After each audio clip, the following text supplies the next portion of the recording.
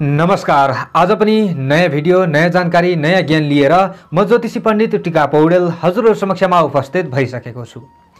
भोलि मङ्सिर महिनाको एक गते यो एक काम जरुर गर्नुहोस् सफलता मिल्नेछ। के गर्ने त? शास्त्र आदिले सङ्क्रान्तिको दिनलाई निकै महत्त्वका साथले हेरेका छन्। हरेक सङ्क्रान्तिको छुट्टा छुट्टै महत्त्व रहेको छ।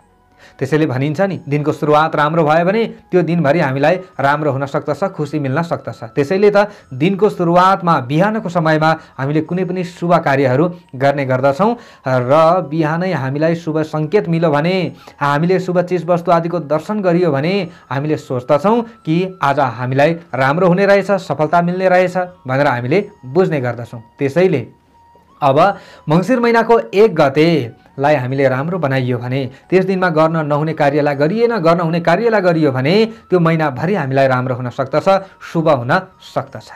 त्यसैले अन्तिम समय भिडियोलाई हेर्दै र सुन्दै अगाडि बढ्नुहोला। निकै महत्त्वपूर्ण जानकारी हजुरहरू समक्षमा राखिँदैछ। अब तुला राशिबाट वृश्चिक राशिमा सूर्यले राशि परिवर्तन गरिरहँदा चार राशिलाई यो मङ्सिरको महिनामा सफलता मिल्ने पनि देखिएको छ लाभ मिल्ने पनि देखिएको छ। कुन कुन राशि परे त्यसको बारेमा पनि म जानकारी दिनेछु। हुन त एक गते बुधबार यहाँनिर लेखिएको छ विशेषतः र त्यस दिनमा त्रयोदशी तिथि रहनेछ अश्विनी नक्षत्र रहनेछ मेष राशिमा चन्द्रमा रहने दिन हो। तर सूर्यले राशि परिवर्तन गरिरहँदा मङ्गलबार नै रहेको छ यानि कि तिस गते रातिको बाह्र बजेर छप्पन्न मिनटमै सूर्यले राशि परिवर्तन गरिरहेको अवस्था छ। त्यसैले मङ्गलबार नै भेटेको छ। अब मङ्गलबार नै सूर्यले राशि परिवर्तन गरिरहँदा देशमा कस्ता कस्ता घटनाहरू घट्न सक्दछन् के हुन सक्दछ त्यसको बारेमा पनि चर्चा हुनेछ। त्यसैले यो भिडियोलाई हेर्दै र सुन्दै अगाडि बढ्नुहोला। राम्रो लाग्यो भिडियो सेयर गर्न सक्नुहुनेछ च्यानल सब्सक्राइब गर्न सक्नुहुनेछ। म सर्वप्रथम चर्चा गर्नेछु कि अब यो देशमा मङ्सिरको महिनामा कस्तो कस्तो चाहिँ घटना आदि घट्न सक्दछ त। भन्दा मङ्गलबार सूर्य वृश्चिक राशिमा प्रवेश गरेका कारणले गर्दा अब यो मङ्सिरको महिनामा खाद्यान्न आदिको जुन मूल्य हुन्छ यो मूल्यमा वृद्धि हुन सक्ने सम्भावना रहन्छ।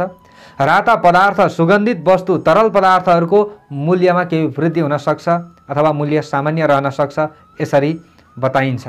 जस्तै अग्नि भय हुनसक्छ यो समयमा चोरको भय हुन सक्दछ विभिन्न ठाउँमा आगलागी हुन सक्ने झैझगडा आदि हुन सक्ने विभिन्न घटनाहरू यस्ता घट्न सक्ने सम्भावना यो मङ्सिरको महिनामा रहेको छ।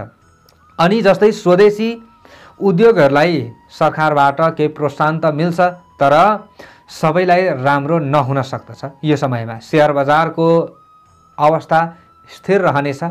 अझै धेरै अगाडि बढ्न नसक्ने अवस्था देखिएको छ। यो मङ्सिरको महिनामा पनि सेयर बजारको स्थिर अवस्था रहनेछ।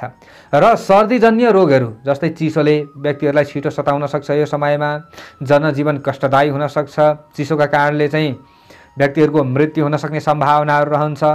अनि चिसो र शीतलहरले जनजीवन कष्टदायी बन्न सक्ने भएका कारणले गर्दा यो महिनामा अलिकति सतर्क रहनुपर्दछ है। मङ्गलबार नै सूर्यले राशि परिवर्तन गरेका कारणले यसरी बताइएको छ। र यो मासको आरम्भमा आरम्भको समयमा मेघबादल हुन सक्ने अवस्थाहरू पनि देखिएको छ। यो त भयो सूर्यले राशि परिवर्तन गर्दाखेरि देशमा कस्ता कस्ता घटनाहरू घट्न सक्दछन् के हुन सक्दछ भन्ने जानकारी। अब विशेष चार राशिलाई सफलता मिल्ने देखिएको छ। कुन कुन राशि परे? चार राशि सूर्यले राशि परिवर्तन गरिरहँदा। त्यसको बारेमा म चर्चा गर्दैछु। पहिलो राशि रहेको छ मिथुन राशि। मिथुन राशिलाई निकै लाभ मिल्ने देखिएको छ। हामीले मासिक राशिफलमा अन्य ग्रहहरूको बारेमा पनि चर्चा गरिसकेका छौँ। र पुरा ग्रहहरूको चर्चा गरेर फल पनि बताइसकेका छौँ। हजुरहरूले मासिक राशिफल पक्कै पनि हेर्नुभएको होला। सूर्य ग्रहको मात्र फल यहाँ हजुरहरू समक्षमा मैले राख्दैछु। जस्तै मिथुन राशिलाई राम्रो हुने देखिएको छ यो मङ्सिरको महिनामा। अनि कन्या राशिलाई पनि राम्रो हुने देखिएको छ मङ्सिरको महिनामा। मकर राशिलाई राम्रो हुने देखिएको छ मङ्सिरको महिनामा र कुम्भ राशिलाई राम्रो हुने देखिएको छ यो मङ्सिरको महिनामा। यी चार राशिलाई विशेष लाभ मिल्ने देखिएको छ मङ्सिरको महिनामा। अब विशेष के गर्दाखेरि राम्रो हुन्छ त? यो महिनाभरि आफूलाई राम्रो होस् भन्नका लागि हामीले के गर्न सक्दछौँ त भन्दा सङ्क्रान्तिको दिनमा अखाद्य चिजहरू भर्सक हामीले खानु हुँदैन जस्तै मद्य मांस आदिको सेवन गर्नु हुँदैन। यसरी बताइन्छ शास्त्र आदिले यसरी बताएका छन्। किनभने सङ्क्रान्तिको दिन हो सङ्क्रान्ति मनाउने नाममा हामीले विभिन्न विकृतिहरू भित्राइराखेका छौँ। जुन सङ्क्रान्तिको दिन हो सङ्क्रान्तिको दिन अब बिहानको समयमा चाँडै उठेर स्नान गर्नुपर्दछ यसरी बताइन्छ। बिहानै उठेर स्नान गर्दाखेरि हाम्रो शरीर पनि चङ्गा हुनेछ। कार्तिकको महिना रहेको छ चान्द्रमास अनुसार त कार्तिकको महिना सकिएको छैन। अब तिन गतेसम्म त अझै जुन कार्तिक शुक्ल पक्ष नै रहनेछ पूर्णिमासम्म त त्यसैले कार्तिक स्नानको धेरै ठुलो महत्त्व रहेको छ। कार्तिक स्नान हामीले गरियो भने कार्तिक चन्द्रमास अनुसार कार्तिक महिना रहँदै हामीले स्नान गर्दा धेरै राम्रो भ्याइएन भने पनि अन्तिममा कम्तीमा तिन दिन लगातार हामीले स्नान गरियो भने पनि कार्तिक स्नानको फल हामीले प्राप्त गर्न सक्दछौँ।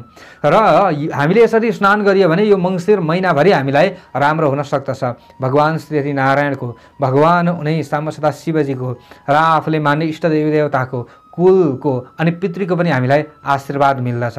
र लक्ष्मीले पनि हामीलाई आशीर्वाद दिनुहुन्छ। त्यसैले अरू केही गर्न नसके तापनि यो कार्तिक शुक्ल पक्ष रहँदै हजुरहरूले चाहिँ स्नान गर्न सक्नुहुन्छ। अझ मङ्सिर महिनाको एक गते नै मजाले बिहानको समयमा गङ्गा माताको स्मरण गर्दै उनी भगवतीको स्मरण गर्दै अनि हामीले भगवान् श्री हरि नारायणको समसदा शिवजीको स्मरण गर्दै स्नान गरियो। उहाँको नाम जपियो भने हामीलाई सफलता मिल्छ हामीलाई राम्रो हुन्छ। हामीले अधिकाधिक धन कमाउँछौँ। धन कमाउनु मात्र सबैभन्दा ठुलो कुरा होइन तर हामीले कमाएको धनलाई जम्मा गर्न सक्नु सबैभन्दा ठुलो कुरा हो। हामीले लाखौँ कमाउँछौँ होला तर हामीले फेरि करोडौँ उडाउँछौँ भने त्यसको त कुनै मतलब भएन।